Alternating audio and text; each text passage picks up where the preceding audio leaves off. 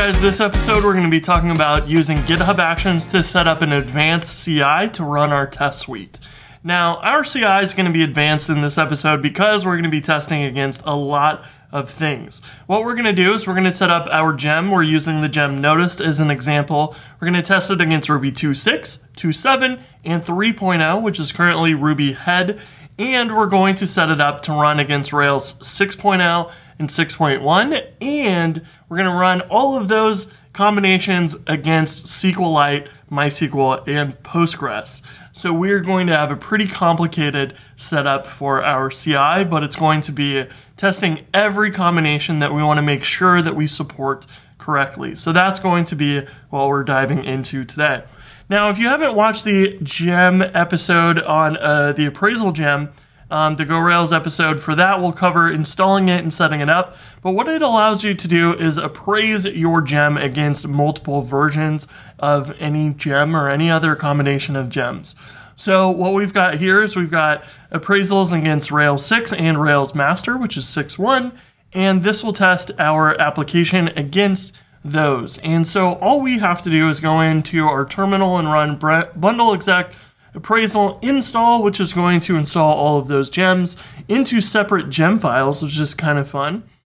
And then we can run bundle exec rails test to run our test suite. So this is going to run the test suite multiple times. It's going to run it once against uh, Rails 6's gem file and the Rails master gem file. So it's pretty straightforward how that works, but that is a crucial piece of having all of this set up. So what we need to do first off is go into our ci.yaml file and you'll see here that we currently have a pretty standard one which will go ahead and set up our database, install Ruby, grab our code, um, cache our gems that we install, install any dependencies we need, and run standard RB in our test suite. So what we'll do here is, oops, we want to grab this line um, to run bundle exec appraisal install instead of our basic test suite. So what that will do is run our Rails 6 and 6.1 tests in CI every single time, which is great. Um, but that is going to uh, only take care of the Rails portion of this. The more complicated things that we need to do is actually test against multiple versions of Ruby and we need to test against multiple databases, which is the most complicated piece. So let's start on the multiple versions of Ruby. We can say strategy matrix in our GitHub Actions. And what this will do is actually run our test job once for each of those matrix entries. So all we need to do is add Ruby and an array, and we give it the versions of Ruby we want to test with. So we'll say 2.6, 2.7, and head, which will install those versions if we change this to use that matrix. So we'll say matrix.ruby, which will reference matrix.ruby. And because this is run three separate times, that is going to grab the Ruby version that was given to that job. So it will be 2627 or head. And for clarity here, we can just change this name of that step to matrix with Ruby in it. So we will see which version of Ruby is being installed. Um, and that's going to take care of Ruby for us. Now I've already got matrix Ruby inside of our vendor bundle uh, cache. So when we install the gems, we are going to be getting uh, that cache to the right directory. And then um, all of our Ruby dependencies for different versions are stored and cached separately because we don't want those to override each other, which could be a problem. For example, when we go to Ruby 3, we might have different executables or something like that. So um, we want those gems to be cached separately for each version. So now we want to create a branch and we're going to commit that and say add Ruby and Rails versions to CI. And we're going to push this up as a new branch. So full CI is what I called it and we'll push that up to GitHub.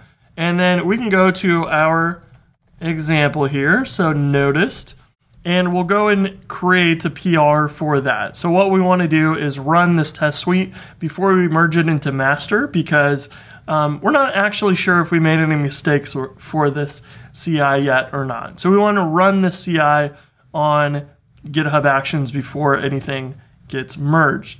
So now, once this is created, you can see that it is running the test for the pull request.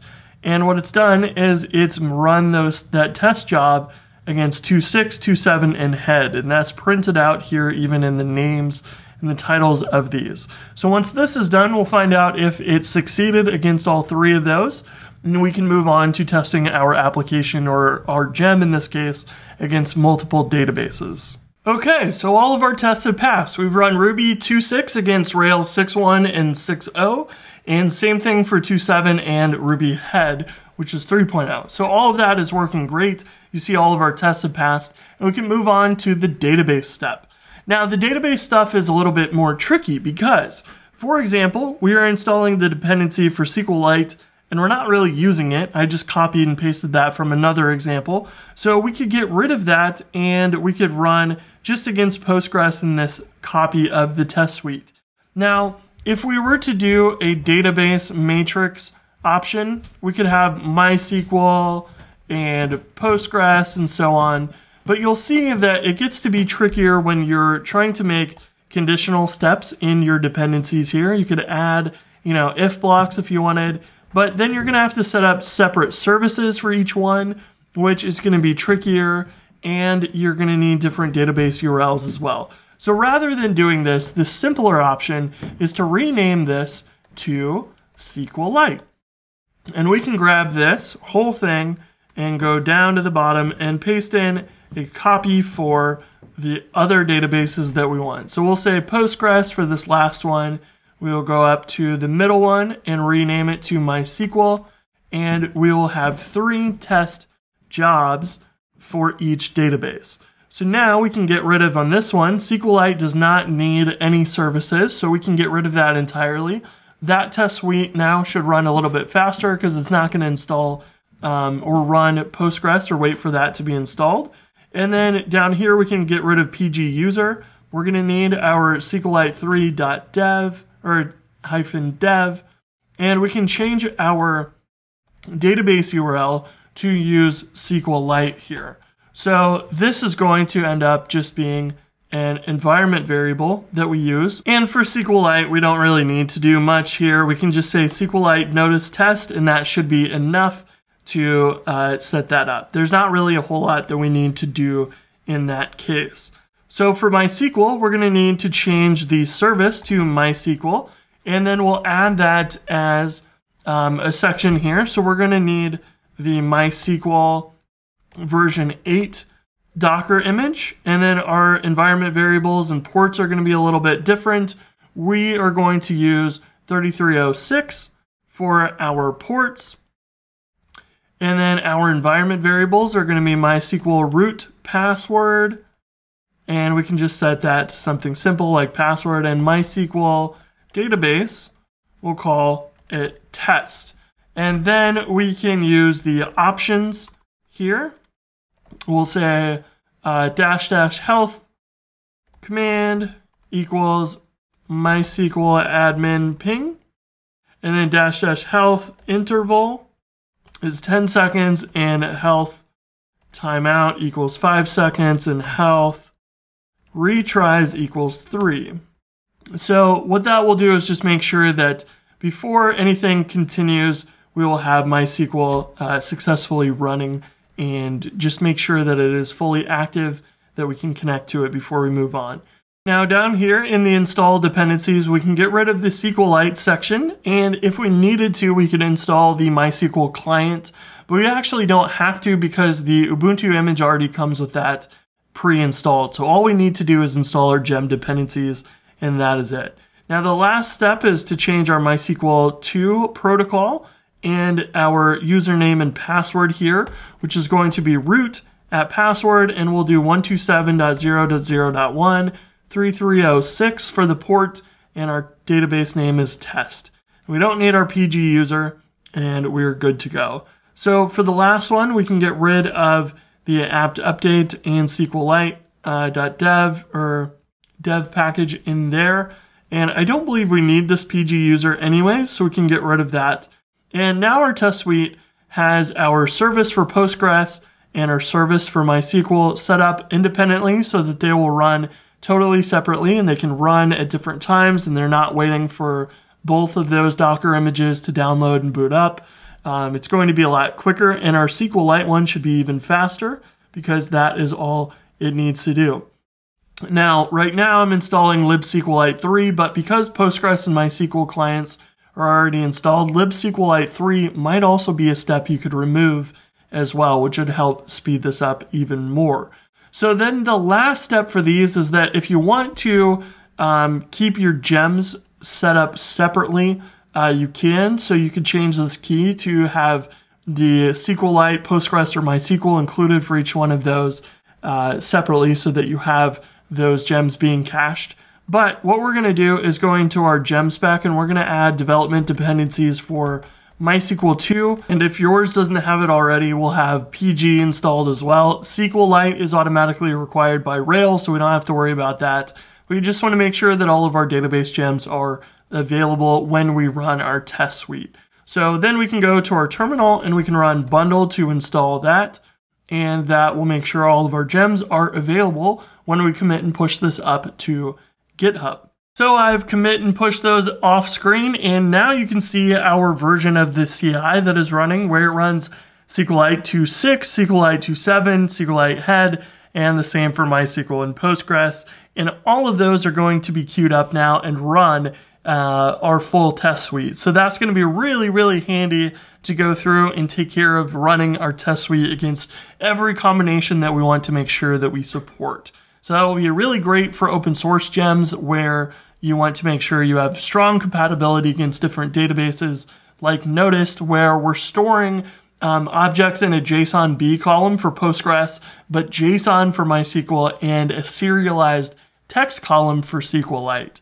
So that is something I definitely want to support testing against multiple databases. So we'll let this run and see how it goes. And there you have it. We have a full CI running against multiple versions of Ruby, Rails, and databases all in one, which is awesome.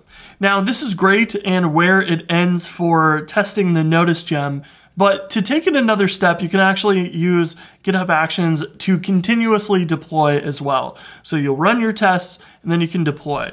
So what you want for that is either you want a GitHub action um, step that actually deploys after your tests have succeeded. So I have one here for Hatchbox. This one you can add to GitHub Actions and you just add it as a second step and you add your deploy key and you're good to go. That will take care of deploying to Hatchbox.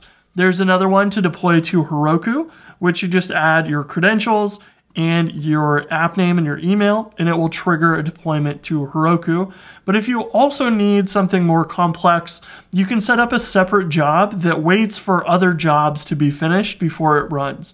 So you can set up your CI job to run the tests. Then you can set up your deployment job, your continuous deployment or CD, and have that job depend upon the parent to trigger the deployment uh, automatically. So that's it for this episode. We got through some advanced GitHub Actions setups where we're doing CI and we can even do CD very easily if we want.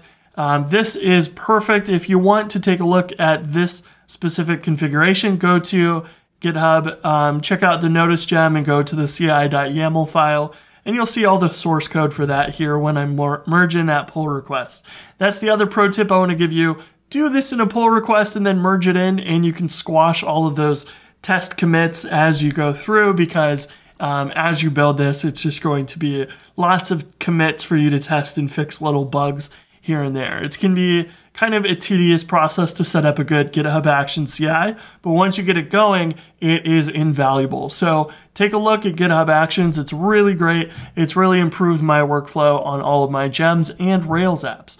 So that's it for this episode, and we will talk about continuous deployment in the future. Peace.